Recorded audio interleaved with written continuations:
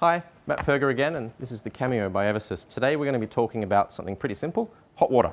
So this machine has the ability to mix the hot water that's coming out of the steam boiler with cold water coming out of the tap. And that means that it can choose any temperature it likes on demand. So we don't need to just have scorching boiling water coming out of this tap. We can make it anything we like. So let's go into the products and keys menu and you'll see that I've set up two different hot water products on that home screen. One is hot water, and it's going, when I press that button, it'll dispense for 10 seconds, and it's aiming for a temperature of 95 degrees C. This would be your usual very hot water that you'd like to use. And my second option here, I've labeled green tea, and we have a water temperature of 70 degrees Celsius. So if you need a specific temperature for something, you can dial that in, create a button for it, and then you know that every time you press that button, you're going to be getting a very specific temperature.